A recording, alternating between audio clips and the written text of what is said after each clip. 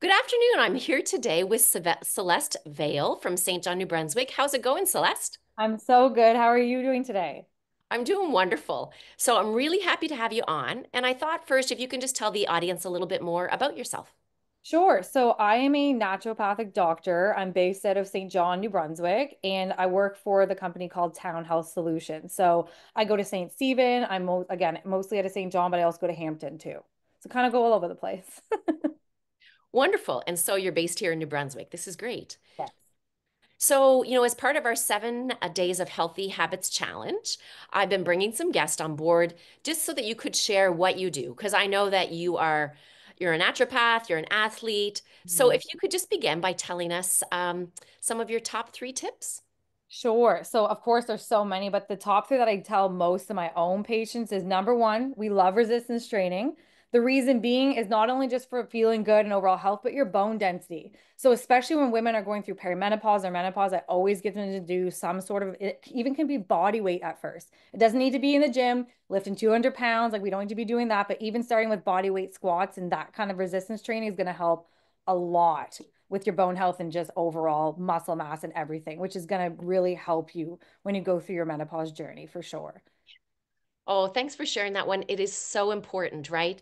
And we often, women think that they need to uh, bulk up or something like this, but yeah. it's really, it's for bones. But then the whole mitochondrial benefit. And, you know, I've been talking about that so much lately with my patients. Right. And people don't understand mitochondria, but I say, these little batteries that live in your cells, and you need to shake them up. You need to move to right. activate them to get mm. more energy, right? Right. That's right. You got to shake those powerhouses of the cell right up. we love them. And the movement too, and the body squats are so easy. You know, we we talk now about the studies that have done on exercise snacks, right? Mm-hmm. Yes. So, right. Get up once an hour, or just go on the back of your chair, hold on the back, and then do yep. some squats. Yes, I mean, and that's going to help you even long term, right? Like when you're, you know, older and you're trying to bend down to get things, if you've already established that muscle memory, it's going to be so much easier to move around when you're older. Yeah. And this is why, too, the muscle memory, as people that train when they're younger, it's such a great thing for them because when they get back into some type of program, then they just, it's like right away they start to feel better. Exactly. So much better. So much easier, right? Instead of starting later. It's better, just, but just start wherever you are is really what's best at the same time, right? Exactly. Mm-hmm. So, okay. So, number two. Yes. So, getting outside, that could be my preferred would obviously be nature, but even just getting outside when you're, we really want the sun to be on your face, right? Don't put a bunch of sunscreen on with the sunglasses because that's going to block vitamin D absorption as well. If you're outside for 10 minutes, you're not going to get a burn. It's all right. But that's really what going to help with that vitamin D production, but also just getting that little boost of energy. So let's say like, you know, like your 2 p.m. 2 p.m. slump that most people go through. If you just go outside and let that sun just hit your face, you're going to be more awake after a few minutes, right? Like it just, and the fresh air too, it makes such a big difference, really. It's so important, like it impacting our circadian balance, you know, our melatonin, um, whatever time of day that we can get out, but the morning and mid afternoon Perfect. especially with our Canadian winters, because I don't know about you, but with the time change this weekend. Oh, disaster. what a disaster. So really needing that additional source of uh, of light to get out. A hundred percent. And especially if you can get out, you know, in the woods and get out in nature like that, that's going to even benefit you even more, right? Right. Then we get to do that little bit of um, forest therapy, forest bathing, right? A little bit of grounding. Yeah. Grounding. So good. we love it. So, what would be your number three tip? So, number three is a classic, everyone's favorite protein. We all love that, right? So, most of us are not getting enough protein. And then when patients come in, they'll be like, well, I get my protein bar and it'll be some brand from Costco that has like 30 ingredients, right? So, that's not, that's like ultra processed food at that point. It's not the type of protein that I'm talking about. I mean, yes, if we want to supplement with something like a really clean protein powder, that's completely fine. But I, I really try to get people to stay away from those protein bars just because there's so many additives to it. And then you're just getting a bunch of junk. So again, getting good quality meat, or if you're vegetarian or vegan, getting good quality tofu and that kind of thing. Not like the fake meat chicken nuggets, but like the good non-processed things, right? And again, everybody's going to be different depending on your weight and depending on if you're training as well and all of that. But even at the beginning, just trying to get an extra 25 grams a day is going to be your best friend. You're going to feel so much better. And if I had to pick one time, it'd be in the morning.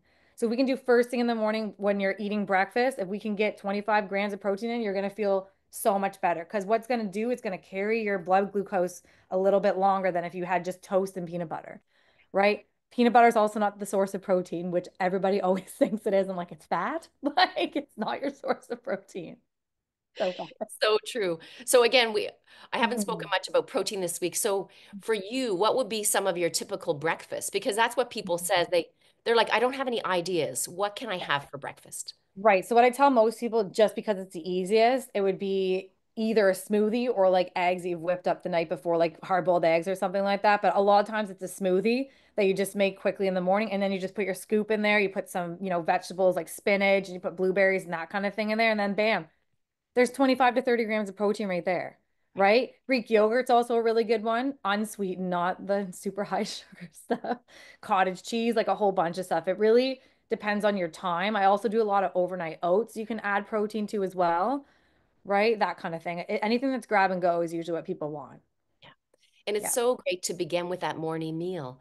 Like yeah. this is so fundamental. And, mm-hmm. you know, there's a lot of controversy, you know, when we hear about intermittent fasting and yeah. time restricted eating. Right.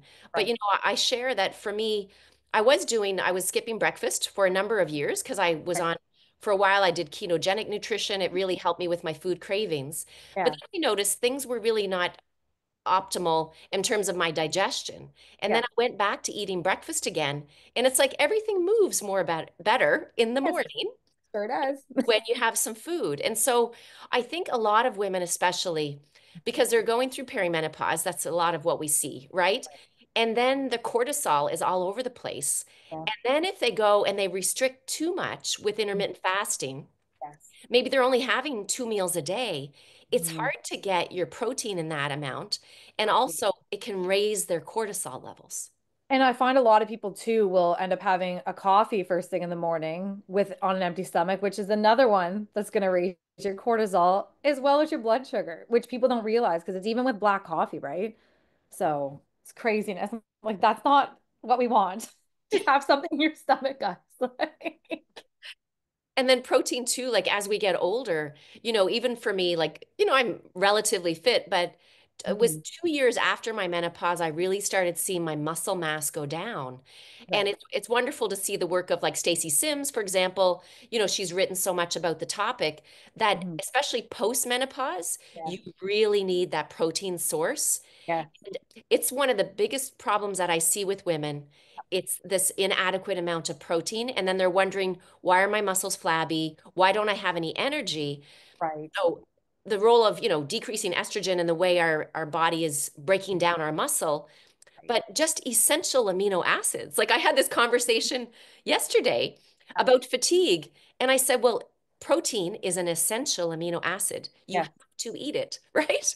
Yeah, it's kind of one of those things. But people, again, it's just it's it's not quick and easy for a lot of people in their minds. That's and I think that's a big issue. They want to just grab something from Tim's or whatever in the morning. that's not what we want, guys. Right. So again, coming back to that, someone this week had spoken about planning and preparation.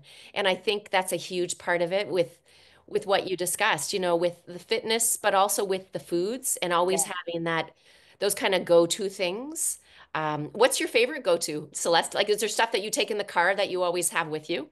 So what do you mean what I do for breakfast or what I do for the protein scenario? Yeah, like if you're on the road or there yeah. are there some takeaways like that you always I have?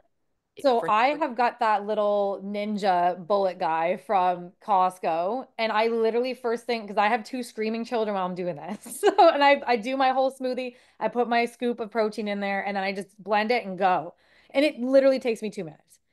You know what I mean? I only put spinach, blueberries, a little bit of water, and then I have the protein, like the scoop of protein. Sometimes I'll put Greek yogurt in it, just depends, but super easy and quick right? I'm not sitting there trying to, or in a banana, but I'm not sitting there trying to think about it. I'm just, I have to go, go, go, which I know a lot of people are in the same position. So I think that everybody should be given one of those little ninja things. So good. They're, they're always on sale at Costco. they're like 50 bucks. Go get them. They're amazing. Like my sister made all her baby food just sometimes using the little thing. Right? Oh, Yeah. it works so well. And the one that I, the one that I have at Costco too, you just scoop it right off and put the bottom on. So you don't have to pour it into another cup. It makes it even quicker.